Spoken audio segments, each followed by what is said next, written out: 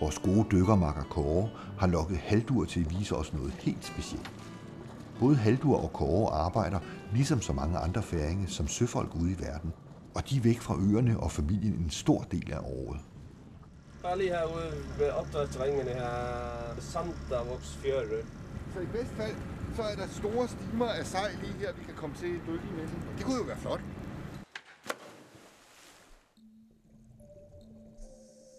Der er en kæmpe stime sej under Haldurs båd.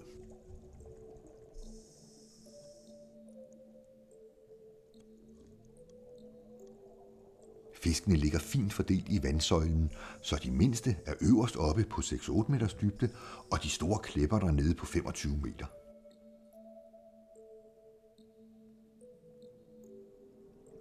Sej er udpræget stimefisk, og de kan blive 20-25 år gamle. Når Kåre eller jeg kommer lidt for tæt på, drejer de af som en samlet synkron organisme, så de holder en sikkerhedsafstand til os.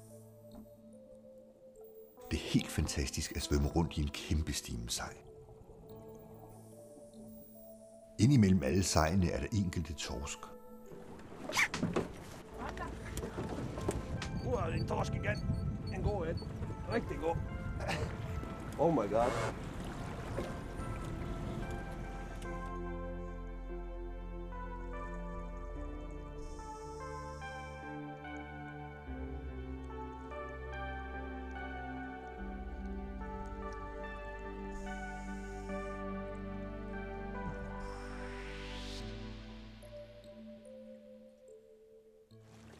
Så du sokkerne så?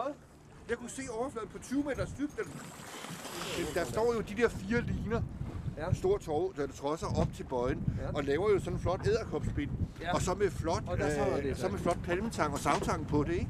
Ja. Så står det jo rigtig flot, og så med sejren også. Det var meget flot. Nej, det var fantastisk.